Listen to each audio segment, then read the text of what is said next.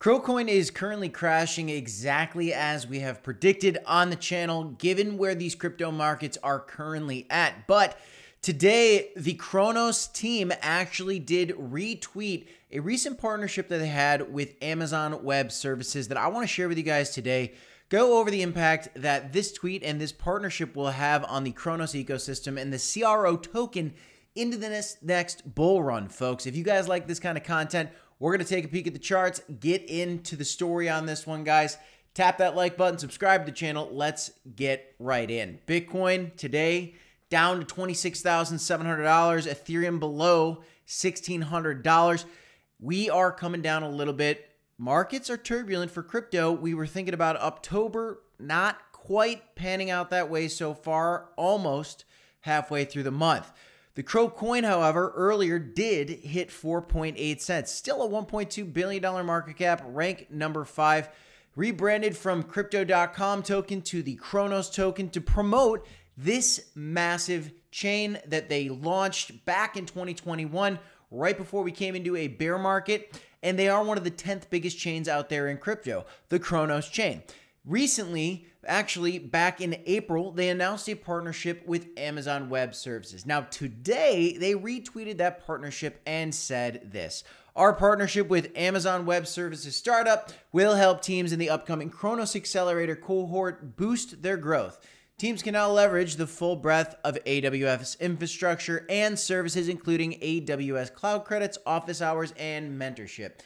They add more details back from when they announced this partnership. This was big news. The Cronos community was very excited about it. And this is a reminder that this is still here. You're talking about a bear market and, and what are people doing to build in this bear market? The retweeting this right now was a reminder they are still building. Just yesterday, they chose to retweet their Google Cloud web services thing. It's doing two things here, guys. Reminding people how big these partnerships are for Cronos.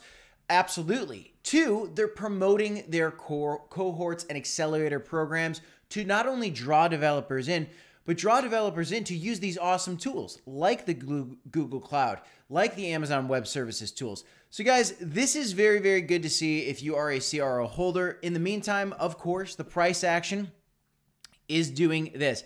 Actually, right now, according to this chart right here, we are at 4.8 cents, guys, and I have had this little circle drawn for a while, right at about 3.3 cents, guys.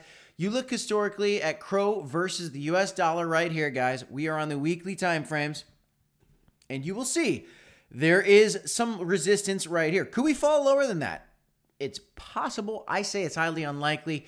I think we're going to continue to make high, uh, lower, higher lows, higher lows as CRO goes on over time because Binance is obviously one of the main competitors for this. I feel like crypto.com compliance and regulation wise is taking a step up this year during this bear market as we move into the bull market. They're going to be an even more fierce competitor. I think this token continues to climb and starts to compete with the likes of Binance. But in the meantime, this is falling exactly as we predicted, guys. Now, my partner on the channel, Black Sea, believes that maybe it comes to about 4.5 cents at its low. I'm going to add that line in right now just so it's there for the future. But I think that a 3.3 cent CRO is on the table. And if you look in the past and see times where we've kind of came down super fast, that was one big weekly red candle. And then we had one, two, three, four. This is like 20 weekly green candles in a row. Can you imagine uh, all the way from I mean, yeah, this is like 25, maybe 30 weekly green candles in a row, which was crazy. But that can come, guys. We just need to see this bottom take place first. We need to see Cronos continue to build, continue to promote their accelerator programs, and continue to draw developers into the Cronos chain, which I think they're going to continue to do. They've certainly got the marketing efforts for it. They've got a great social media presence, and the CRO fam is stronger than ever, even despite the downward action we're getting on CRO right now and the fact that we're in a bear market, folks. When the Bitcoin halving comes, I will once again start to get bullish on altcoins. We're just not there yet. I do think, however, if you like altcoins, we could be looking at some very, very low accumulation opportunities soon. And we'll keep you posted on it here at the Crypto Report. That's all I got for you in this one. I'm Crypto Kip. This is the Crypto Report. Don't forget to smash up the like button, subscribe to the channel for more crypto content.